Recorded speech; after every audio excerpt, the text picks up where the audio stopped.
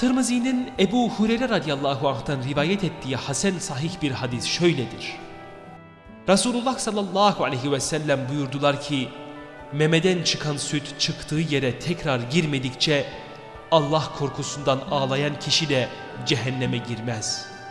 Allah yolunda uğraşma sebebiyle oluşan toz duman ile cehennem dumanı aynı insan üzerinde bir araya gelmez. Abdullah bin Amr bin As radıyallahu anh der ki, Allah korkusuyla bir damla gözyaşı akıtmak, benim için Allah yolunda bin dinar sadaka olarak dağıtmaktan daha sevimlidir.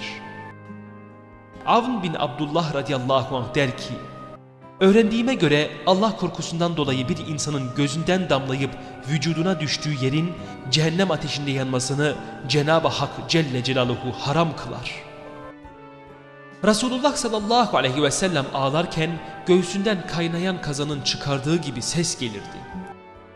Elkindi radıyallahu anh der ki, Allah korkusuyla akıtılan gözyaşının damlası denizler büyüklüğündeki ateşi söndürür.